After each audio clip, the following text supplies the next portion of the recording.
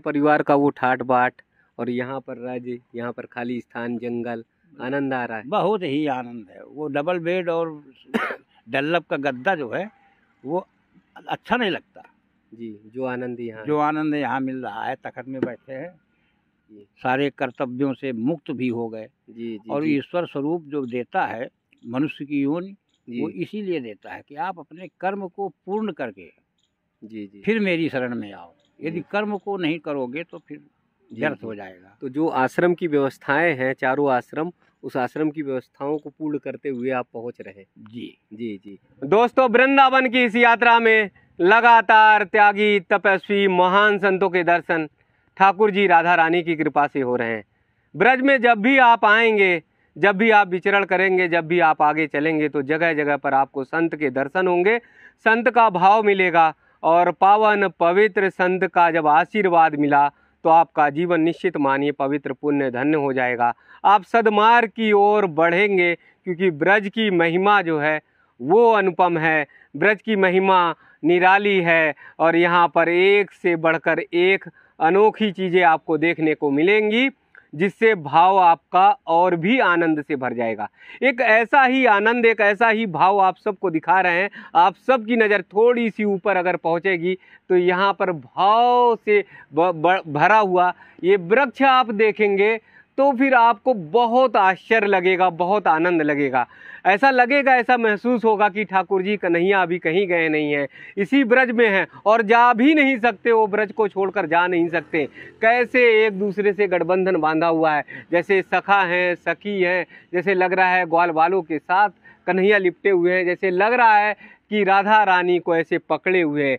ऐसा अनोखा वृक्ष ऐसा अने अनोखा, ये गठबंधन, भाव का गठबंधन, प्रेम का गठबंधन, निश्चलता का गठबंधन आपने शायद नहीं देखा होगा। तो ये चूँकि ब्रज है तो ब्रज में ऐसे ना जाने कितने आपको आनंद देने वाले भाव मिलेंगे। और उस भाव में अगर संत का आशीर्वाद मिला, संत का भाव मिला तो आप सब भी आनंद से भर जाएँगे।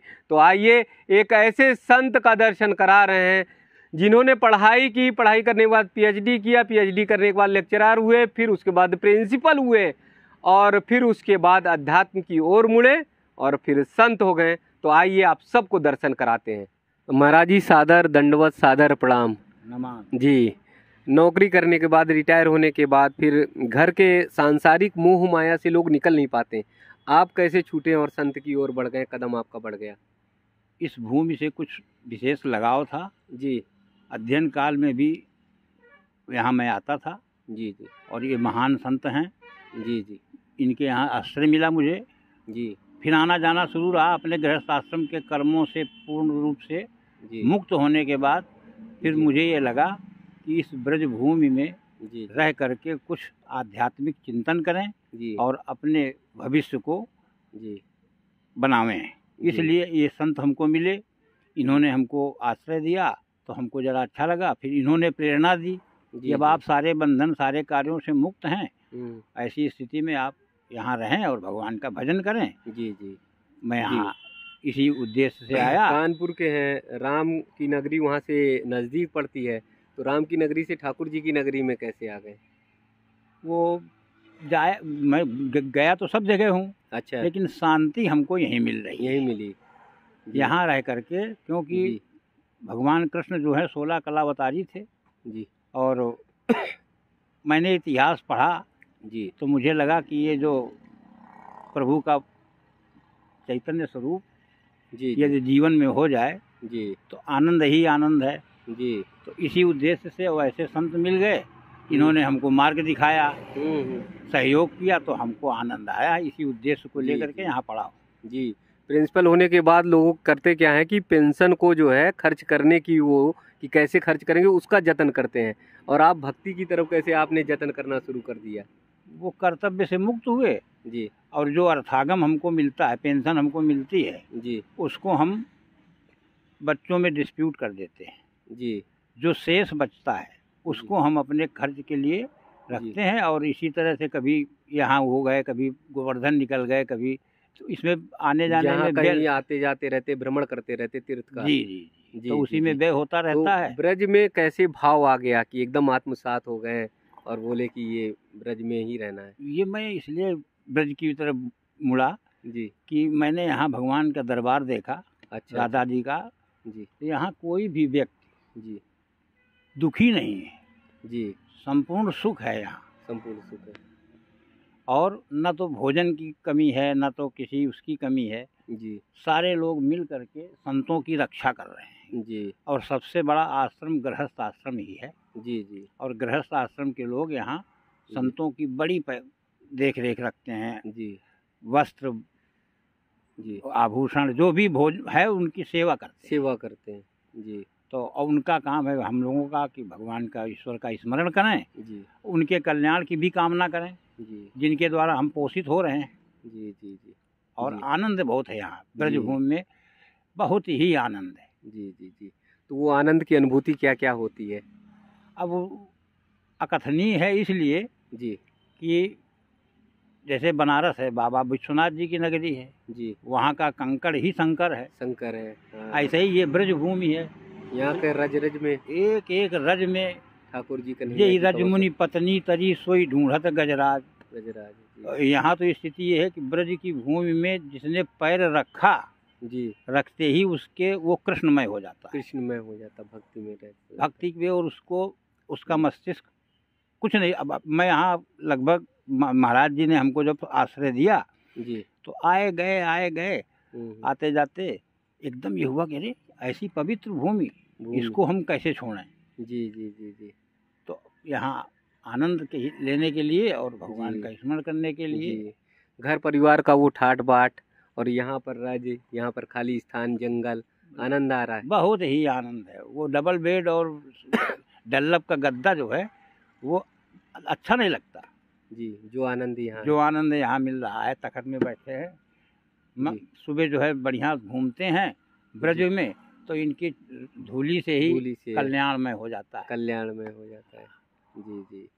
और ऐसे पावन जगह पे है कि गोवर्धन की तरफ़ जो है जी संत और भक्तों का ये महाराज जी का स्थान ऐसी जगह पर है। जी। ये गोवर्धन और मथुरा के बिल्कुल मध्य का एरिया है। गोवर्धन जी जी जी। तो ये ब्रज का हृदय ब्रज का हृदय है। जी। तो उस हृदय में आप बसे हुए हैं। तो ये तो बहुत पावन और अच्छा। स्थल है जी। कि ब्रज के हृदय में जो है आप बसे हुए हैं। हृदय में ही भगवान के हृदय में आ जाए भगवान कल्याण में हो जाएगा जीवन। जी जी जी जी। उन्हीं की कृपा से गृहस्थ आश्रम पूरा हम पार करके आ गए। जी जी जी। सारे कर्तव्यों से मुक्त भी हो गए। जी जी और ईश्वर स्वरूप जो देता है मनुष्य की योनि वो इसीलिए देता है कि आप अपने कर्म को पूर्ण करके जी जी। फिर मेरी शरण में आओ। यदि कर्म को नहीं करोगे तो फिर व्यर्थ हो जाएगा। तो जो आश्रम की व्यवस्थाएँ हैं चारों आश्रम उस आश्रम की व्यवस्थाओं को पूर्ण करते हुए आप पहुँच रहे हैं। जी। जी जी। जैसा हम सबको प्राय करना चाहिए लेकिन हम कदाचित नहीं कर पाते वो हो लेकिन आप जो है वो संन्यास और वानप्रस्थ की तरफ़ जो है जी। बढ़ गए। अब आप लोग भी बनेंगे आप लोग जी। गृहस्थ आश्रम के हैं आप ही से हम लोग पोषित हैं। जी जी जी। तो जो मैं कर रहा हूँ उसका कुछ ना कुछ तो फल तो आपको मिलेगा ही जी जी जी। प्रिंसिपल हैं और फिर अब संत हैं। जी। तो सबको ज्ञान की बातें बताइए ब्रज के बारे में बताइए जो लोग डूब जाएँ और भक्ति मार्ग पर चलें सनातन धर्म के लोग जो है वो भी आएँ और जुड़ जाएँ भक्ति रस में डूब जाएँ। ये भव बाधा हरित क्षेत्र है महाराज जी। भाव भादार ये बाधा यहाँ होती ही नहीं है जी। क्योंकि राधा रानी का राज्य है यहाँ। जी जी जी। तो राधा रानी जहाँ रहती हैं वहाँ बाधाएँ होती ही नहीं हैं। जी। तो उसी को देखने और समझने के का प्रयास किया कई वर्षों तक आना जाना रहा। जी। लेकिन जब देखा कि वाह क्या आनंदमय जीवन है। जी।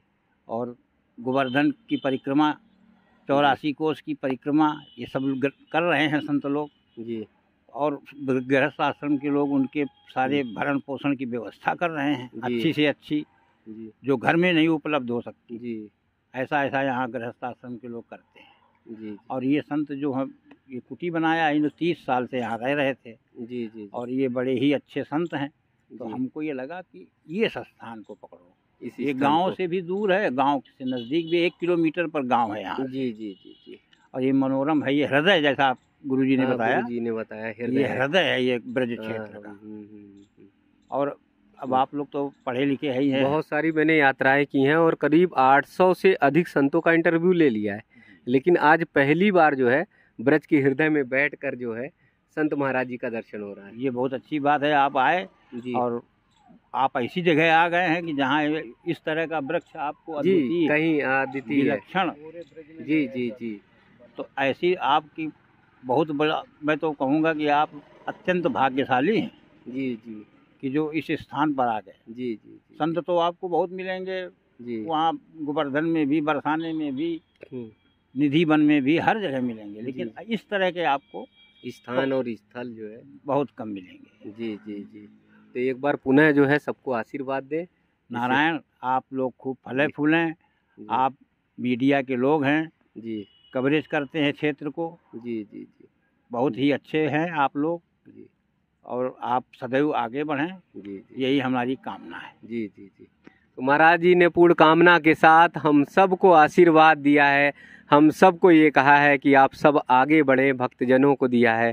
और आज पहला ऐसा इंटरव्यू है, जहाँ पर महाराज जी बता रहे हैं कि ब्रज का जो हृदय है, वो उस हृदय के स्थान पर हम बैठे हैं, ऐसा सौभाग्य जो है, मिलना बड़ा पुण्य का। और जब आप पुण्य करते हैं, जब आपके अंदर कर्तव्य भावना रहती है तो निश्चित कहीं ना कहीं ढूंढते हुए उस स्थान पर, उस स्थल पर आप पहुँच जाएँगे। और जब आपका मन निश्चल होगा, पवित्र होगा, पुण्य होगा तो आप चाहे प्रिंसिपल हो, चाहे डॉक्टर हो, चाहे इंजीनियर हो, कितने भी बड़े पद पर हों, लेकिन आपका मन ऐसे पवित्र स्थल की ओर ज़रूर एक दिन लौटेगा। जैसा महाराज जी का लौटा, एक बार उस स्थान को, स्थल को भी आप सबको दिखाऊँगा, जो कितना रमणीय है, कितना पवित्र है, पुण्य है, उसे भी आप सब देखिए। एक बार वृक्ष की तरफ़ फिर से देखेंगे कि वृक्ष देखिए कैसे एक दूसरे को पकड़े हुए हैं, कैसे एक दूसरे को जोड़े हुए हैं, सूत्र को जोड़े हुए हैं। हम सब भी सनातन धर्म के लिए, सनातन संस्कृति के लिए ऐसा काम करें कि हमारा धर्म भी ऐसा जुड़ा रहे। हम सब भी जुड़े रहें, हम सब भी सदमार्ग की ओर चलें, हम सब भी संत की सेवा करें।